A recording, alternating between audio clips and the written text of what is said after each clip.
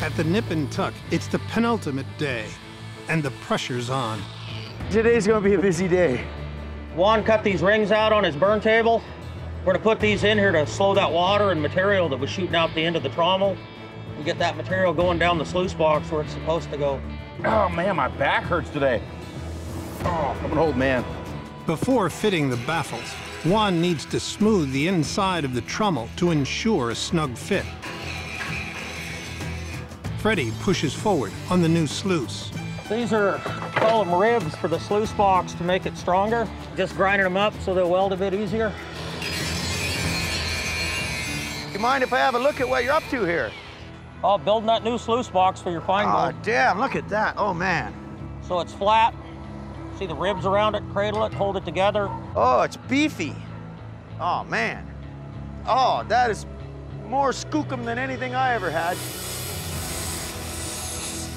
Juan fits the baffles that will slow the water flow and divert the fine gold into the new sluice Freddy is finishing.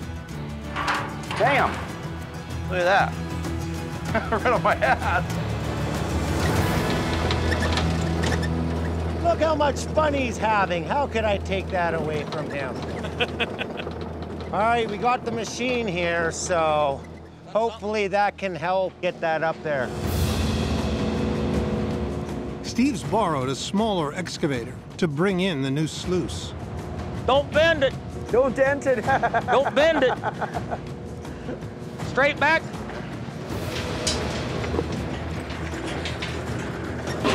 oh, you put a dent in it. Don't bend it, he said. All right, Good? Down. All right, that should be good. Perfect, guys. Thank you. You good with it? Yeah, it's uno, tres, cuatro. Pa abajo un poquillo. Huh? So we can come up with the jacks now. I like it. We're good. This is the most skookum sluice box that has ever graced the steps of the Nip and Tuck gold mine. Oh my goodness sakes. I can't wait to see it with a mat in it, some expanded metal, fine gold spilling all through there. To adjust the pitch of the new fine gold sluice and control water flow and pay dirt, Freddy and Juan have a cheap but effective hack. We got the new sluice box in place. We're getting it set up right now. We're getting the right pitch on it. What we did was Freddy actually got these two little bottle jacks, welded them onto a plate, and we're gonna use that as our adjustment. We can adjust the pitch or adjust the sluice side to side with it to get it perfectly level and the pitch that we want on it. You know, it's kind of a cool idea. It's something cheap. $30 worth of material. A- a- And, look at that. It's perfect. We can adjust it however we want it. Look, it's dead nuts level.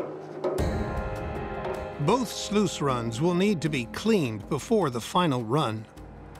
Get some water through there to get that steel pushed out. Or it's all gonna be in your cleanup. That's all right. It's, It's gonna not be as a lot heavy of, as gold. It's gonna be a lot of steel. Just clean the damn sluice. You're gonna have micro pieces of steel all over in there. Gold's heavier. I believe I mentioned he is a little hard-headed. Um, you know, Freddy knows the most, in my opinion. Uh, Steve's gonna have to understand that, and I think he's coming to terms with it. I know I'll clean it out. I'll clean it out.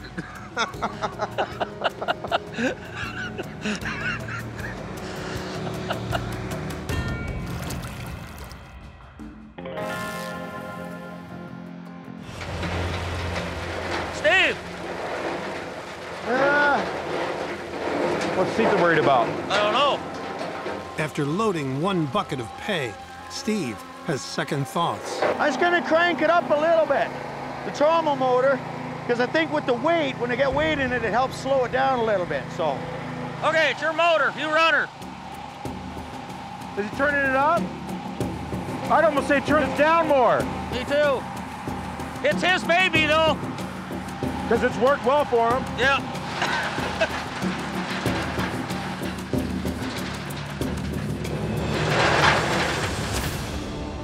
Something's not right. It's smoking. At the Nip and Tuck mine, the crucial final test has ground to a halt. He's had an issue with his trommel, so I'm gonna shut the pumps down for now. The motor just stopped suddenly. We That aren't was sure why. fine. Are you sure it wasn't steam coming off of here? It might have been. I just walked up to it and saw it right away. And You got oil in it? Dude, it had oil. It's a brand new motor. I think it's the belt. I think it's the belt is stretching. There's so much weight on it. We'll try it again, see what happens.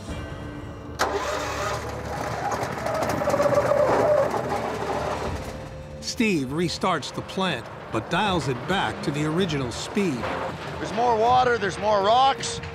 It seems like the belt might be stretching out a little bit, the, the fan belt. We do have a spare, so I'm a little, not on edge, but I'm just running around making sure that all these little tweaks get made. If, if that trommel's not turning, there's no gold coming out at all.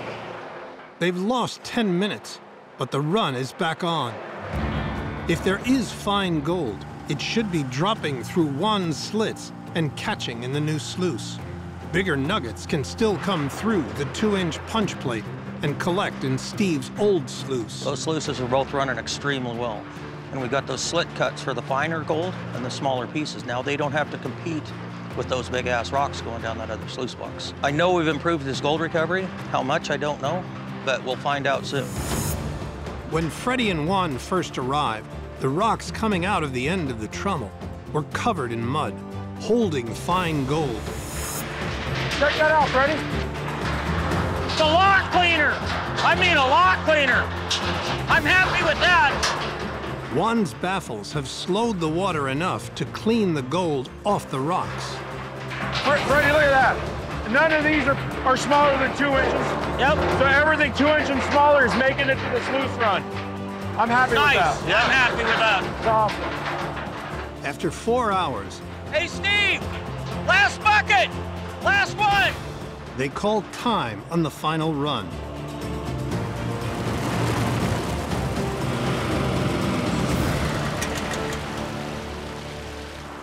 Hey, Steve. Hey, so what do you think? See This- anything in there? This box This is running good. awesome. Yeah, oh, look at all, oh, yeah. Those riffles are doing exactly what they're supposed to. Yeah. They're running Beautiful. You know that if there's any great big nuggets, they're gonna They're fall gonna- right in off the, probably be in the top mat there. Yep. Now you actually have the chance of catching that 35 ounce nugget you've been bragging about. Dude, I don't, I don't know what to say, guys. It looks good. I'm happy about it. What we need to do is clean it up now and, and see what we got. Yeah, let's pull the mats, huh? Natural hammer. Now we're getting ready to pull the carpets out to see what we got. I mean, you're not seeing much in there, but if a sluice is working properly, you don't want to see it because if it's on top and you can see it, it can get away from you.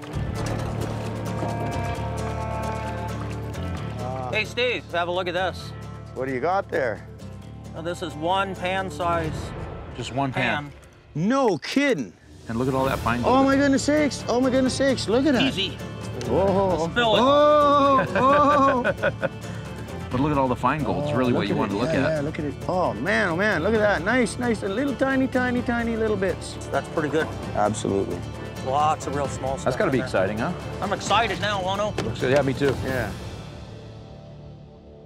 After five days, it's time to find out if Freddy and Juan's fixes have worked. Well, guys, Moment of truth, huh? run. Time for the weigh-in. The first test run weighed 0.13 of an ounce. Freddy and Juan promised Steve an increase of at least 15%, which means this gold weigh needs to be around 0.15 of an ounce. Here it is. Okay.